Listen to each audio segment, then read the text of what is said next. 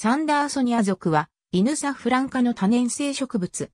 南アフリカ共和国東部の旧ナタール共和国などの高地が原産地であり、1851年にジョン・サンダーソンが発見したことにより命名された。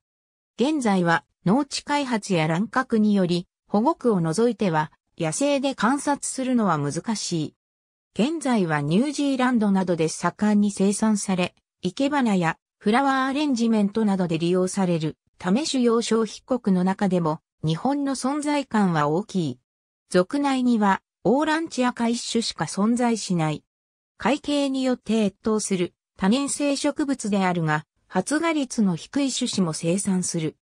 二股状会計の場合、中央の球状部分から発芽するわけではなく、腕の末端にある長短分裂組織から発芽する。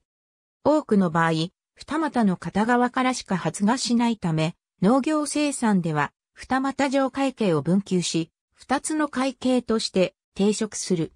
鮮やかな橙色や黄色の提灯型の特徴的な花をつける。別名クリスマスベルズ、提灯のような花の形から、チャイニーズランタン、和名で、提灯ユリと言われている。花器として生産され、年間を通じて流通している。